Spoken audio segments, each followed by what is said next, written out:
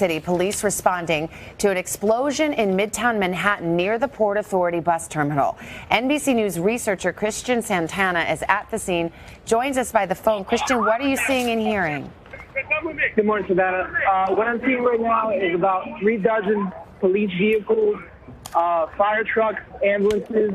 Police have begun clearing out the area. Uh, it's unclear what what the situation is. Uh, there are bomb squad vehicles present, uh, present, and police have cleared out the Port Authority uh, terminal itself. Okay, and, and you mentioned the ambulances. You have you seen any kind of injuries or anything that would indicate um, that there's been any kind of that kind of activity?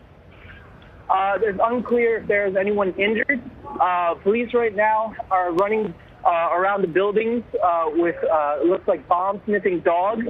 Uh, to looks like they're looking for some kind of residue of some sort. Okay, Christian, thank you so much. And our investigative reporter, Jonathan Dienst, saying there's been one minor injury, one person in custody. Again, an explosion of some sort that seems to have taken place near the Port Authority bus terminal in, in the heart of Manhattan, 42nd and 8th Street. And as you can see from that image, police activity is extensive ambulances, bomb squad.